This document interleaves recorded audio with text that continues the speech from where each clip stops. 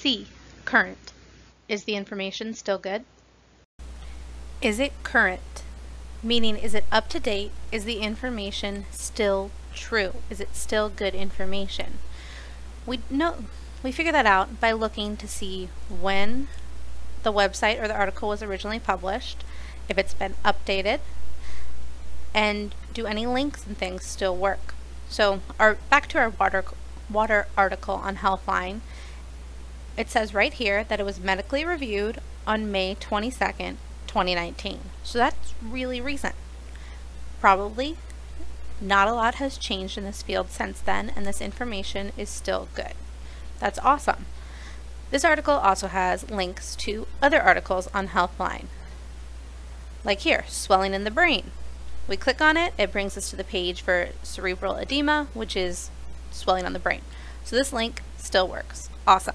That's a good sign. We also need to think about, is it important that our website is up to date?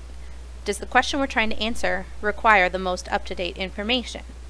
Um, if we're looking for information on treatments for cancer, then yes, we want the newest, most up-to-date information. If we're looking for a recipe for chocolate chip cookies, we probably don't need the newest recipe. One from 1950 will probably work just as well.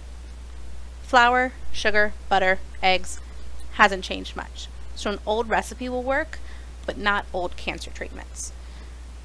So sometimes it's okay to use older articles, and sometimes you're going to want the newest and the latest and the greatest.